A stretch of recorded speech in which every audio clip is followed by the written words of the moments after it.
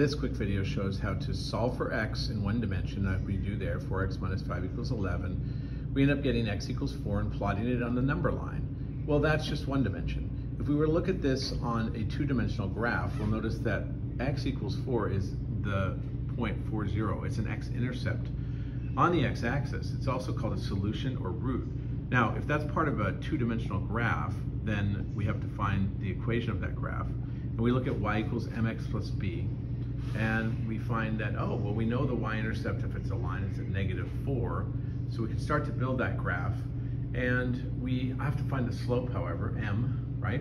Rise over run. Well, it's 4 over 4, which is equal to 1. So we get an equation of the line y equals 1x minus 4. We can use that to plot points for the other points of the line. 4, 0, 0, negative 4. If we pick 44, we'll get 40 or 7, 3. And then we have a line. And so we have a graph. So that's how you get go from an equation to a graph.